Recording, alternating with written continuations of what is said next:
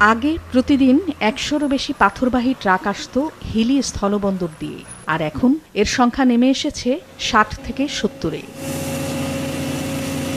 ব্যবসায়ীদের দাবি, দেশের বিভিন্ন মেগা প্রকল্পের পাশাপাশি বাড়িঘর নির্মাণের প্রয়োজনে পাথরের চাহিদা বেড়ে যাওয়ার সুযোগে পাথর রপ্তানি কমিয়ে দিয়েছে ভারতীয় ব্যবসায়ীরা। বাড়িয়েছে দামও। ফলে দেশের বাজারেও সব ধরনের পাথরের দাম বেড়ে গেছে। এতে বিপাকে পড়েছেন আমদানিকারক ও ক্রেতারা।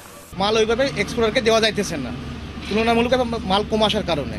এখন মাল চাইলে ইন্ডিয়ালা সিন্ডিকেট করে মাল দিচ্ছে এক কোয়ালিটি বা দুই কোয়ালিটি যেই কারণে আমাদের এইখানে এখন স্বাভাবিক মতো কার্যক্রম করতে পারতেছি না। হঠাৎ করে আমদানি কমে গেছে আর মূল কারণ বলে আমরা মনে করতেছি।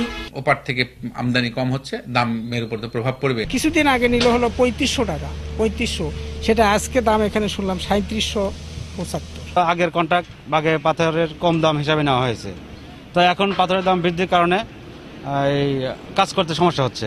লোড বেশি হচ্ছে না এখন পাথর কম লোড হচ্ছে পাথর নাই পড়ে এদিকে পাথর আমদানি কমে যাওয়ায় কমে গেছে বন্দরের রাজস্ব আয়ও বলেছে কর্তৃপক্ষ।